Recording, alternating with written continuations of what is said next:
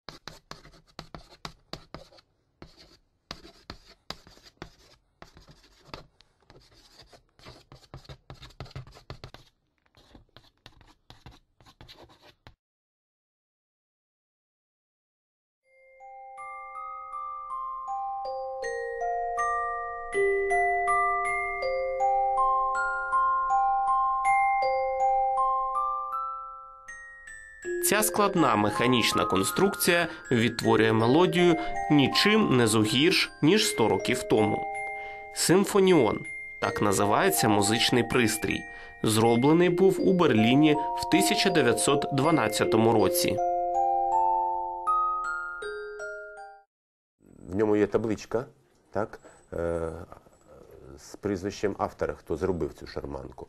Це е, Герман Аугустін. Це була серйозна фірма, яка виробляла музичні інструменти е, піаніно, фортепіано, роялі. І наскільки я зрозумів, що ці шарманки, музичні ці шкатулки, це було хобі.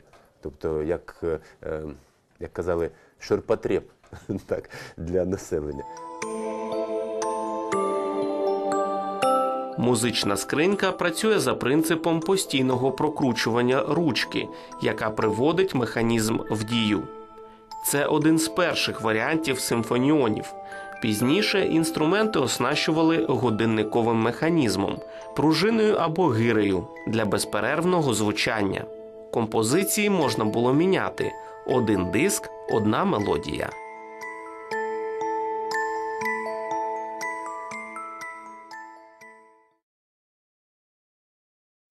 Диски, які йдуть ось е, до цієї шарманки, вони металеві.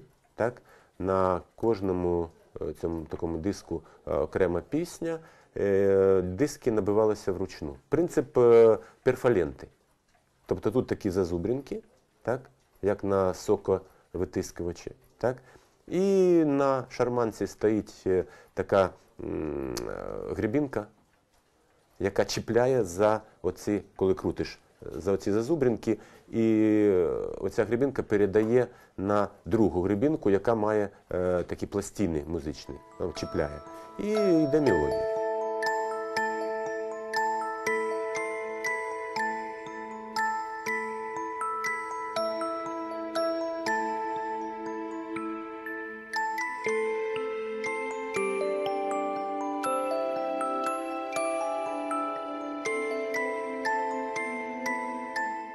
Для кращого звучання корпус симфоніонів робили виключно з дорогих порід дерева.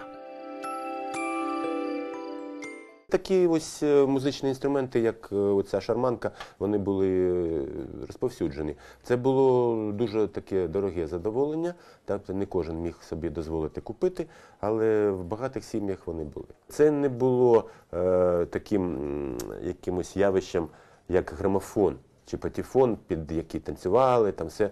Е, Це така була чисто салонна річ. Е, Збиралася публіка, так?